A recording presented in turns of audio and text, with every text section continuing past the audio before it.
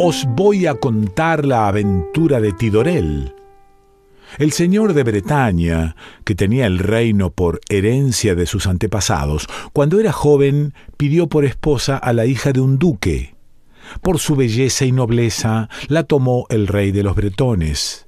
Mucho la quiso y la llenó de honores, y ella le amó a él intensamente. Nunca estuvo celoso porque ella jamás le dio motivos.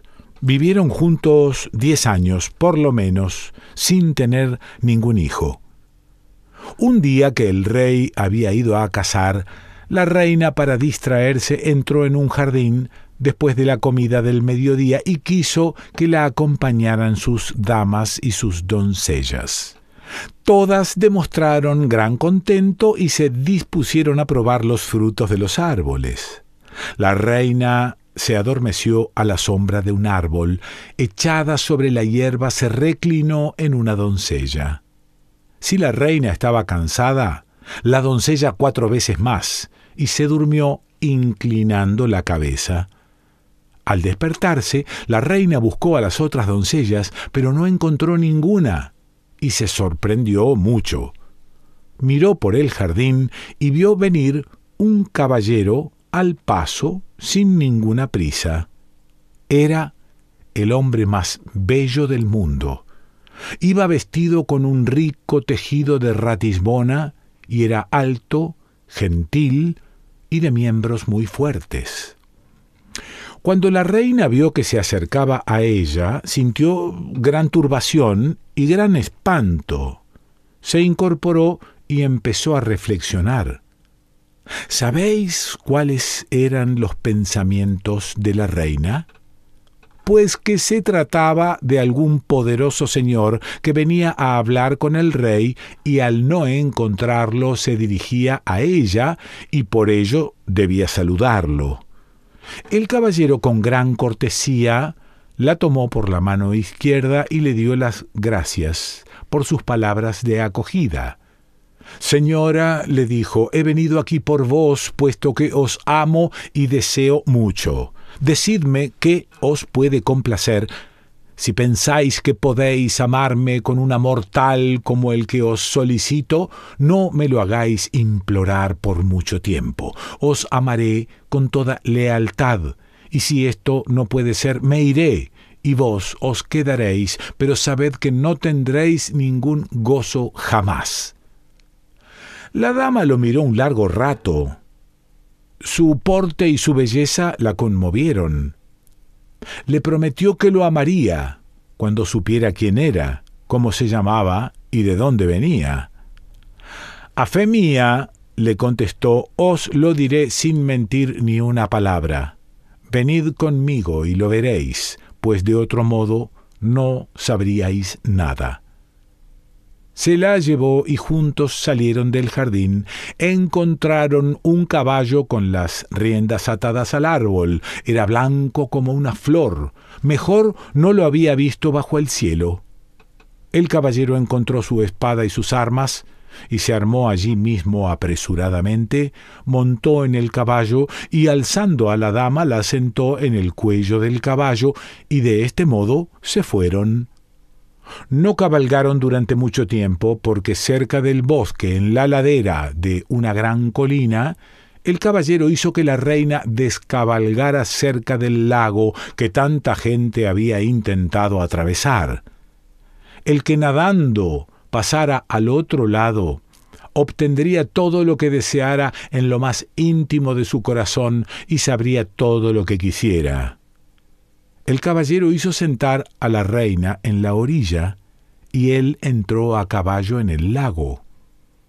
El agua se cerró sobre la cabeza y él se hundió en lo más profundo del agua y atravesó las cuatro leguas mientras la dama no hacía ningún gesto. El caballero salió en el otro lado y volvió hacia ella. Señora, le dijo, Voy y vengo por este camino, no me preguntéis nada más. Y la volvió a montar sobre su caballo. Nos amaremos durante mucho tiempo hasta que nos sorprendan. Tendráis de mí un hijo muy bello al que llamaréis Tidorel. Será valiente y noble y superará en belleza a todos los caballeros de este reino. Nadie le hará la guerra, pues su valor destacará sobre sus vecinos. Será señor de Bretaña, pero sus ojos nunca se cerrarán para dormir. Cuando tenga la edad de la prudencia, haced que siempre haya junto a él alguna persona velando.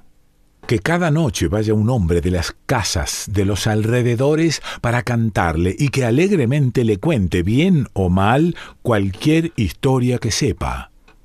El que quiera escaparse de esta obligación correrá peligro de muerte. Luego tendréis una hija muy bella, cuando haya crecido, será otorgada a un conde de esta misma región. Tendrá dos hijos nobles, valientes y corteses y llenos de virtudes. Serán excelentes caballeros y extremadamente hermosos.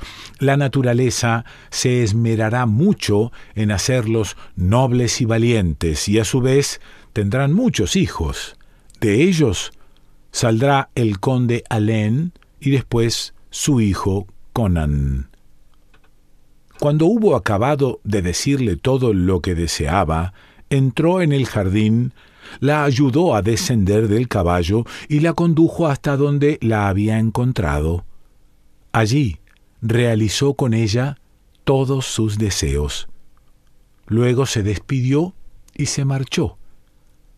Cuando hubo abandonado el jardín, las doncellas, que antes se habían alejado, regresaron y la reina se alejó con ellas, ocultando cuidadosamente su aventura. Su amigo la visitaba con frecuencia y juntos conversaban. Su vientre engordó y se redondeó. El rey se percató de ello y se sintió feliz al ver que la reina estaba encinta, pero no sabía nada de la verdad. El villano dice en su jerga un feo proverbio, Muchos piensan que crían a su hijo y no es de ellos ni siquiera un poco. Este era el caso del rey.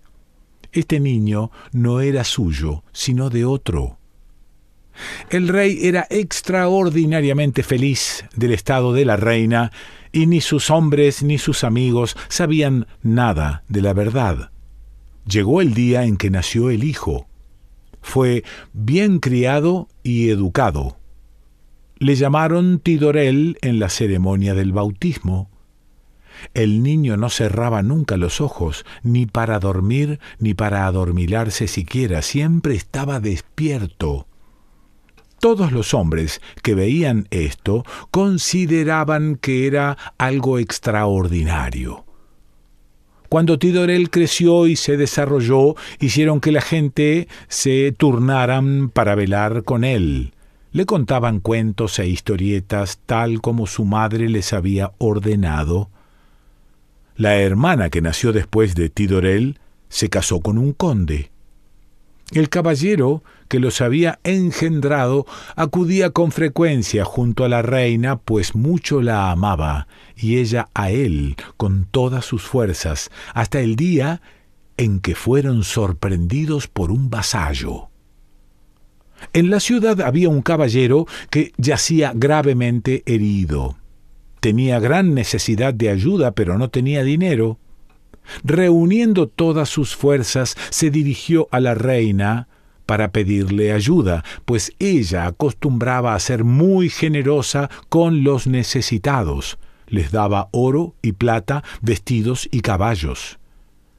El caballero encontró abierta la puerta de la cámara en donde la reina estaba echada y entró. Vio al lado de la reina a aquel que luego fue la causa de su tristeza y dolor, y que ahora tenía a la reina entre sus brazos, pero después se fue y ya no volvió más. Y aquel mismo día empeoró de sus males, y al día siguiente, a la misma hora que los había visto juntos, murió. Después de que hubo sucedido esto que os he explicado, murió el rey de Bretaña. y Tidorel fue hecho rey. Nunca hubo otro tan noble, tan cortés, tan valiente, tan generoso y que mantuviera mejor la paz en su reino. Nadie se atrevió nunca a hacerle la guerra. Era muy amado por las doncellas y deseado por todas las damas. Sus vasallos le servían y le amaban, y los extranjeros le temían. Durante diez años fue un rey poderoso, según dicen los del país. Cuando transcurrieron estos diez años, se fue a descansar a Nantes. Mucho le gustaba aquella región porque su madre estaba allí y también sus consejeros. Durante su estancia tomaba cada día un hombre distinto de cada casa de aquella ciudad para que pasara la noche en vela contándole cuentos. Y he oído decir que un sábado, al anochecer, fueron a buscar al hombre que tenía que acudir aquella noche. Se habían retrasado y entraron dentro de la casa. Allí vivía una viuda, débil, anciana y enferma, Junto a ella estaba su hijo, del que tanto se había preocupado. Nunca había querido separarse de ella ni salir de la ciudad. Ella lo había confiado a un orfebre que le había enseñado su oficio y el muchacho lo hacía muy bien. Con lo que ganaba, vivía su madre de modo honorable. Los enviados del rey le pidieron que se preparase para ir con ellos a velar con el rey toda la noche y que pensara la manera de distraerle. Él les respondió, Marchad, nunca he sabido nada, absolutamente nada, ni cuento ni canción, ni siquiera una historieta. Los mensajeros se irritaron y amenazaron al joven. Si no quería ir por las buenas, se lo llevarían a la fuerza a un lugar tal que su situación sería cada vez peor. Esto causó gran miedo a su madre, que le dijo Querido hijo, ve con ellos. Y él le contestó Dejadme en paz. Si no canto bien, me meterá en su prisión y me sacará los ojos. Querido hijo, dijo la madre, escúchame, tú irás a velar con el rey. Cuando él te pida que le cuentes un cuento o una leyenda o que le cantes algo, contéstale que no sabes ninguno. Si tanto se enfada, le dices quien no duerme ni tiene sueño no ha nacido de hombre mortal. De este modo le harás reflexionar y te dejará en paz. Ve, hijo mío, con toda confianza y que Dios te ayude. Después de haber escuchado el consejo de su madre, el joven se apresuró a ir a la corte. Entró en los aposentos reales y los demás se retiraron a sus moradas y le dejaron a solas con el rey, que le invitó a acercarse. Cuando anocheció, los chambelanes se fueron a acostar. El rey, que estaba sentado en un lujoso lecho, llamó al joven y le dijo Amigo, cuéntame cualquier cosa que me distraiga. Señor, le replicó el joven, os digo por Dios que nunca he contado ninguna historia ni he cantado. Hace quince años murió mi padre y mi madre es una pobre mujer que con grandes penas me ha criado. Nunca me he separado de ella, así que poco he visto y he oído y no sé nada. El rey le dijo, Esto es algo asombroso. Ningún hombre sabe tan pocas cosas como tú. Si es verdad lo que me dices, bien tonto y necio eres pero no te vas a burlar de mí. Cuando te vayas, no te quedarán ganas de bromear ni de molestar a nadie más. Y continuó amenazándole. Señor, le replicó el joven, ya os he dicho que he visto y oído muy poco, pero he oído decir a mucha gente que, en verdad, quien no duerme ni tiene sueño, no ha nacido de hombre mortal. Cayó el rey, bajó la cabeza y se puso a pensar angustiosamente que él no dormía nunca, y que aquel joven había oído decir que él no era humano. Estaba triste y le inquietaba que todo el mundo durmiera y él velara día y noche. Se levantó de un salto y tomó la espada que tenía en la cabecera del lecho, entró en el aposento de su madre, se acercó al lecho y la despertó. Cuando ella le vio, se incorporó apoyándose en el codo. Hijo, le dijo, por el amor de Dios, ¿qué pasa? ¿Qué buscas aquí? Por Dios, le contestó él, moriréis enseguida. No escaparéis de mis manos si no me decís la verdad. ¿De quién soy hijo? Quiero saberlo. Quien debía velar conmigo me ha dicho hace un momento que quien no duerme no ha nacido de un hombre.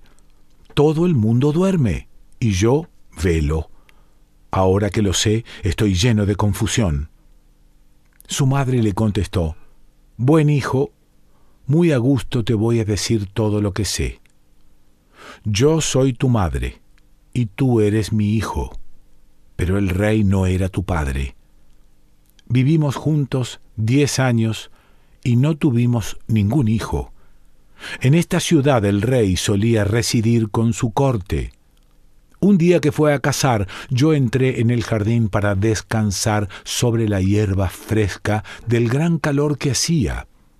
Iban conmigo mis doncellas, y yo jugaba con ellas y arrancábamos alegremente los frutos de los árboles del jardín. Me senté bajo uno de los frutales en compañía de una de ellas, enseguida me adormecí, y la doncella se durmió tan pesadamente que me fue imposible despertarla. Cuando me desperté, me estremecí de miedo y la abandoné pues venía hacia mí un caballero extremadamente bello. La naturaleza lo había hecho con gran cuidado, y había reunido en él todo lo que sabía en cuanto a la belleza. Iba muy bien vestido, era alto, fuerte, vigoroso. Me pidió, con amenazas, que hiciera con él el amor, y me dijo que si no le entregaba mi amor, nunca más sería feliz. Él se iría y yo me quedaría y nunca más tendría gozo ni felicidad, y esto me asustó mucho. Tanto insistió en que le otorgara mi amor, y como yo le vi tan bello y elegante, tan cortés, empecé a amarle con gran fuerza y él también. Le pregunté quién era y él me dijo que me lo mostraría. Me llevó fuera del jardín donde tenía atado su caballo. Encontró sus armas que allí había dejado y cuando se hubo puesto el arnés aún me pareció más bello. Se había armado con rapidez y cuando hubo montado en el caballo me tomó por la mano derecha y me sentó en el cuello del caballo y de esta manera me fui con él. Has de saber que no te miento en nada. Me llevó al gran lago que está cerca del bosque, aquel que la gente intenta atravesar, y allá me hizo bajar del caballo. Me senté en la orilla y esperé. Lo que vas a, oír ahora es verdad.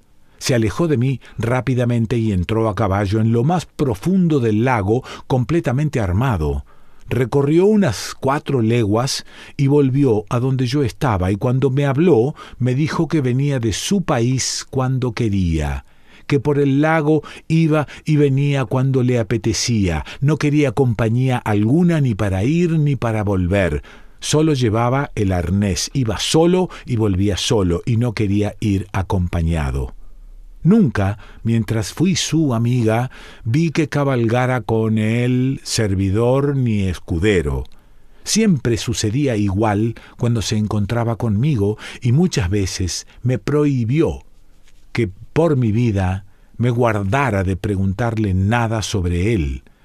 Obedecí fielmente sus órdenes y no le pregunté nunca nada. Me dijo que me amaría siempre, hasta el día en el que esto se supiera.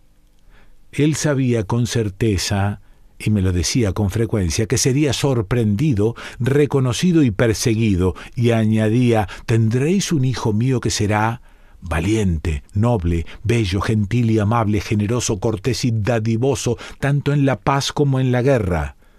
Hijo mío, llegarías a ser un valiente guerrero, pero sin crecer mucho, En cambio serías noble y valeroso, pero nunca tendrías sueño, no dormirá nunca, ni de día ni de noche, dijo tu padre. Cuando llegue a la edad de la razón, será necesario enviarle gente para que vele con él y le canten y cuenten historias. Cuando acabó de decirme todo esto me llevó al jardín. Buen hijo, he aquí la verdad. Aquel mismo día te engendró. Mucho tiempo se quedó junto a mí, creo que más de veinte años, hasta que le descubrió un caballero que luego murió súbitamente. Se fue y nunca volvió, y no sé qué caminos ha seguido. Cuando Tidorel acabó de oír todo esto, se separó de su madre, volvió a sus aposentos y despertó a los chambelanes. Hizo que le trajeran sus armas y su buen caballo. Cumplieron con presteza sus órdenes y se armó, montó a caballo y se dirigió galopando hacia el lago, y entró en él por el lugar más profundo. Se quedó allí y nunca más volvió. Jean Reinhardt.